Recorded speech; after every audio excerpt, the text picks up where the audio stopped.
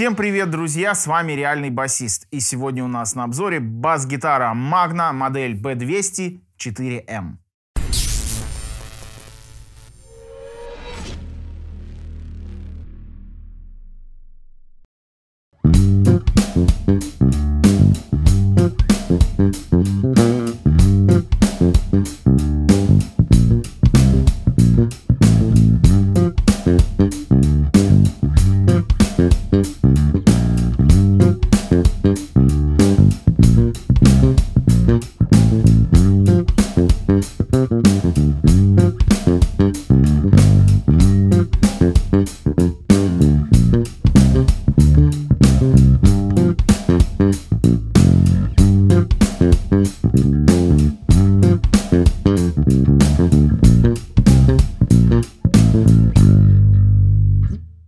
Касательно материалов этого инструмента. Корпус у нас изготовлен из липы с топом из волнистого клена. Гриф у нас клен, накладка также клен. Гриф у нас крепится аж на шести болтах. Ну и давайте теперь перейдем к более интересной части. Это поговорим об электронике. Я думаю, беглого взгляда на этот инструмент достаточно, чтобы понять, что это, ну, конечно же, реплика Мюзикмена. И, собственно, с электроникой у нас то же самое. Здесь установлены два керамических хамбакера, как и на некоторых моделях Мюзикмена.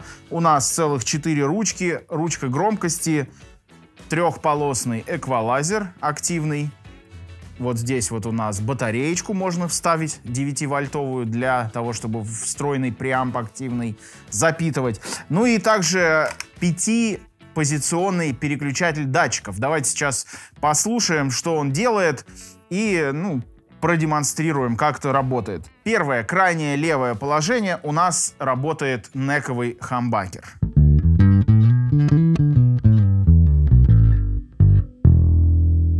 Дальше. Следующее положение.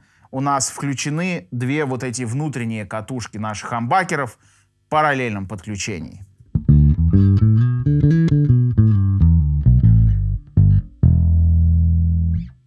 Дальше, центральное положение. У нас работают оба хамбакера со всеми катушками в параллельном подключении.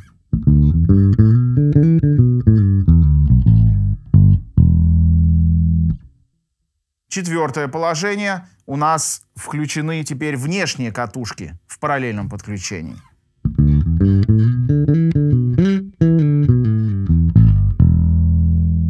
Ну и крайнее, правое положение номер 5. У нас работает только бриджевый хамбакер.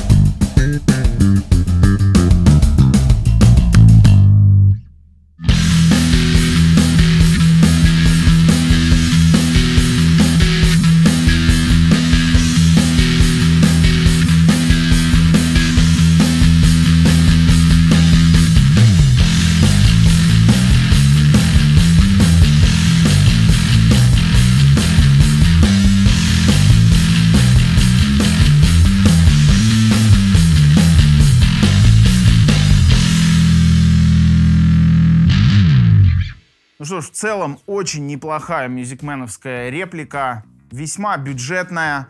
Э, хочу сказать, что сделано весьма добротно. Инструмент относительно комфортный. Не самый, честно скажу, комфортный инструмент, на котором мне доводилось играть.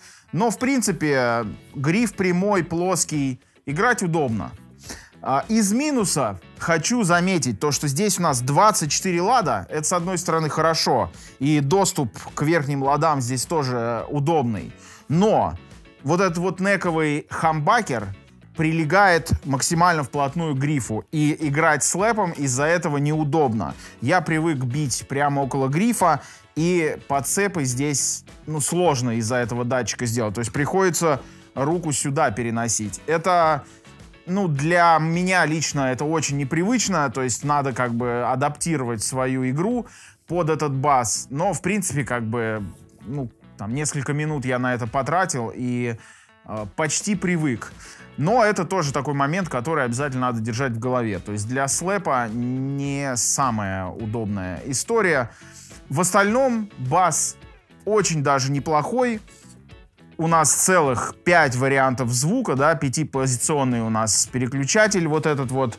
Очень удобно, кстати, им пользоваться. Мне вот нравятся такие гораздо больше, чем крутилки одно движение руки, и вы можете поменять звук. Вот, э, я думаю, что гораздо больше производителей должно взять вот такую схему на заметку. Вот. Инструмент достаточно универсальный, благодаря большому количеству различных тембров. И подойдет, я думаю, что и для рока, и для фанка, и для даже джаза. Он очень неплохо звучит с перегрузом. Вот. И э, в целом, я думаю, что для тех, кто любит вообще мюзикменовский саунд, это такая, отли такой отличный бюджетный вариант.